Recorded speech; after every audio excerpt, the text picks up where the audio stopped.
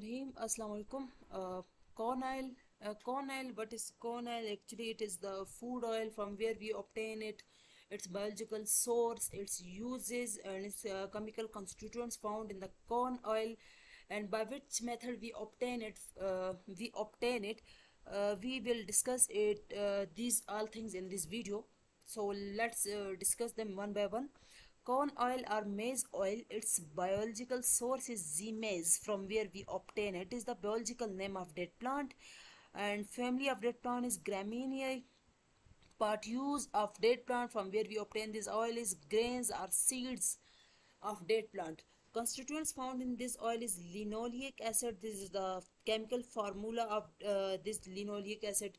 Oleic acid 37%, palmitic acid 10%, and stearic acid uh, 3% uses uh, where we we use it as the oil consists of higher contents of unsaturated fatty acids. It is regard, regarded as of value in diet designed to limit blood cholesterol level in patients with hypercholesterolemia.